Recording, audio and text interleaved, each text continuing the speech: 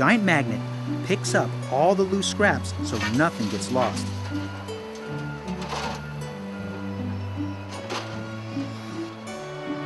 Metal sticks to magnets.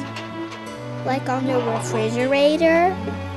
Yes, but much bigger.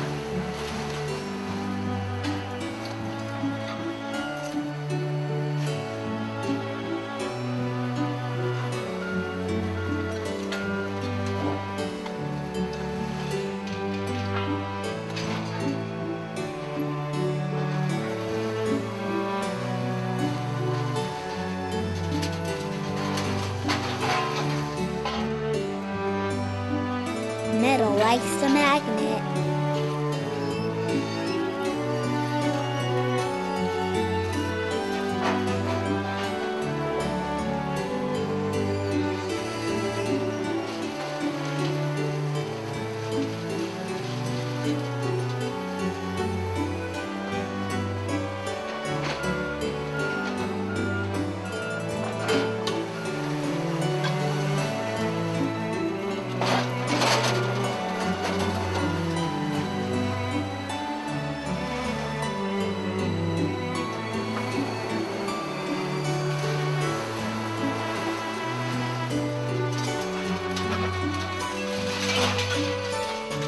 What about the other scraps?